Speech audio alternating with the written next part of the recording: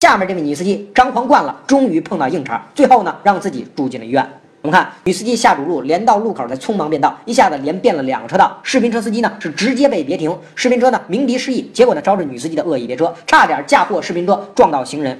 可见呢女司机有多险恶。女司机呢还是不依不饶，追上去呢就开口骂人。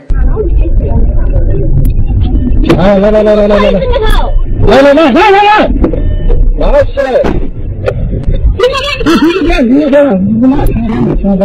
下面的情景啊，我们就切换一下机位来看一下。男司机呢是连拉带拽，连踢带踹呀；女司机是哭天喊地，哭与乌狼嚎，打的是满地找牙呀。看着男司机这几脚抽射，看得我真是热血澎湃。不过有人说男人打女人怎么都不应该，但是我觉得呀，他的这顿揍啊，真是活该。男司机打女司机，大家说到底有没有错？